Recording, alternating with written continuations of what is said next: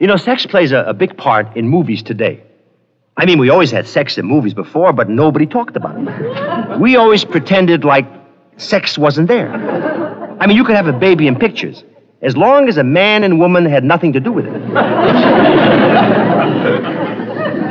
Every married couple in movies had twin beds, sometimes in two different rooms.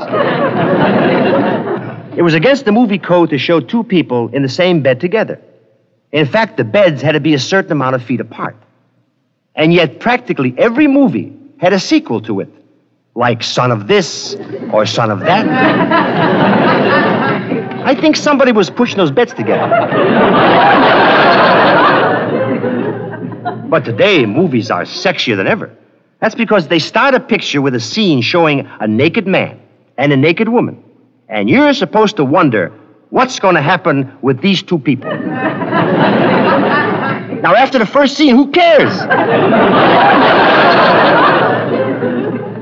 I mean, once you've seen a picture of Lady Godiva, you don't want to look at too many other jockeys. but we don't always see the sexiest movies that are made because they make two different versions dressed and undressed. one for the domestic release and one for the foreign market. That's why we run to see the foreign films because they're so sexy to us. And the people in Europe, they run to see our movies.